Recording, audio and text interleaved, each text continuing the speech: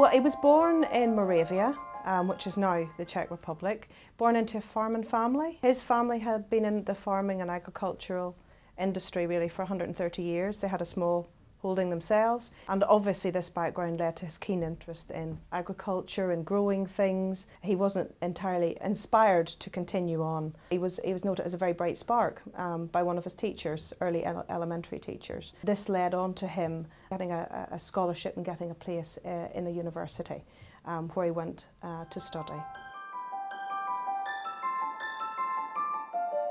Well, he came from quite a poor family actually, and after a while, he, he was made an introduction to um, the Augustinian monastery where he could actually have his subsistence, his board paid for, but still was able to uh, use his craft and talent as a, as a really good teacher of science and particularly physics, um, but also be able to pursue his scientific interests. He also um, looked after the bees, he, he, bees and produced honey, and he began to breed the bees, there are reports that he, he bred two strains of bees that became really aggressive and really angry and that the abbot at that time suggested that he, he choose uh, something with a bit less risk and, and those bees were all destroyed. But he still maintained his interest in beekeeping and obviously the, the, the produce, the honey from it. But he also bred mice as well and looked at their characteristics. So he was beginning to notice, as many people had done before and obviously since then, that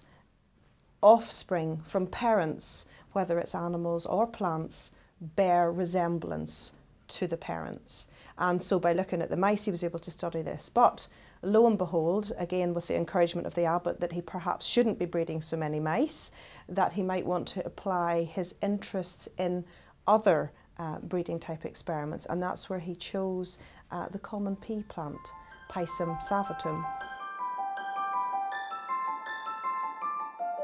And basically he studied seven pea characteristics. So colour and smoothness of the seeds, whether they were grey and round or white and wrinkled. He studied colour of the cotyledons, which were either yellow or green. He, he studied colour of the flowers, either white or violet. He studied the shape of the pods, whether full or constricted, colour of the unripe pods, whether yellow or green, position of the flowers on the stem, and height of the plants, whether they were short or tall. So over the period 1856 um, to 1863, he actually carried out something like 29,000 different experiments on these pea plants and examining the various characteristics.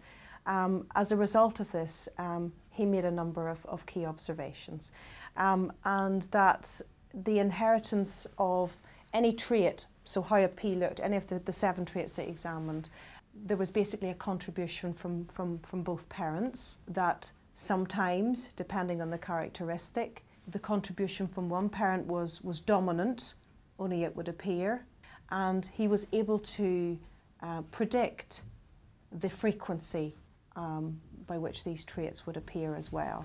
So what he did was a clever um, bringing together of multidisciplines of science, which is very common these days, and which was about undertaking uh, the careful growth of these pea plants, the very careful observations associated with them.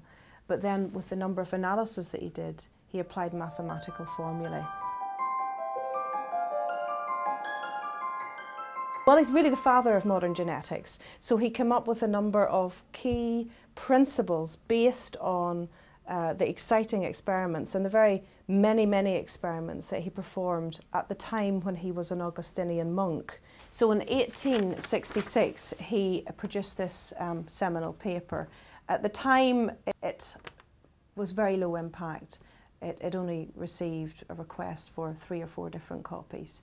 And it was many years later that the implications and the profound nature of his observations were realised. People say he was maybe just more than a bit lucky. He finished off working with it with, with, the, with the pea plant. He tried to do the same with the bees because the fascination with bees was still there. But because they didn't breed in the same way, he never was able to emulate those results. But now as we know more about um, how they bred, um, etc., that we, we can understand why he hit a brick wall with that. But, but he, he nevertheless, with the, the species that he chose, um, he looked far and wide and deeply to, to understand and to be able to map the predictability. And of course, it's this is the very essence of plant breeding and plant selection for agricultural purposes and so on that, that, that, that we still have today. Well, I guess the timing was a bit unfortunate for him because at the time the big hot areas in, in biology were uh, Darwin, Lamarckism, um, looking at, at, at early evolution. And it's only later, whenever these um, areas were looked at in the detail were looked at by other scientists that they realised that they all actually helped form the whole picture and were only part, uh, parts of the puzzle.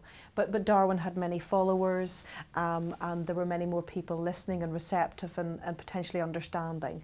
And, and Mendel just was, remember, an, an Augustinian monk in this tiny monastery um, and didn't have access to, to huge learned societies or professional bodies or whatever else that, that some of these other scientists would have had.